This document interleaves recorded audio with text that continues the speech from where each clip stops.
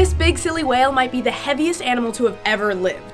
Its name was Perucetus colossus because it was gigantic. Scientists think it weighed as much as 340 tons, which is about the same as 40 T-Rexes. Until now, we thought that blue whales were the heaviest animals to have ever existed, but P. colossus might knock them right off their pedestal. Peruvian paleontologists found the first fossils of this whale in 2010, but the vertebrae were so heavy it took a year to excavate each one. They're each the size of a beer keg, and according to one scientist, just incredibly bulbous. Unlike typical spongy bone, these bones were super dense. Scientists think they might have acted as a sort of weight belt for the blubbery whales, allowing them to stay underwater with less effort in shallow areas. In total, the team has dug up 13 vertebrae, 4 ribs, and part of a hip. Obviously, this only gives us part of the picture, so scientists have, um, filled in the blanks based on what they know about its close relatives. And that's how we ended up with this stunning work of art. The whale's relatives tended to have smaller heads, so that explains this, and they might have been manatee-like, so that would explain this, but I'm still not really sure what's going on here.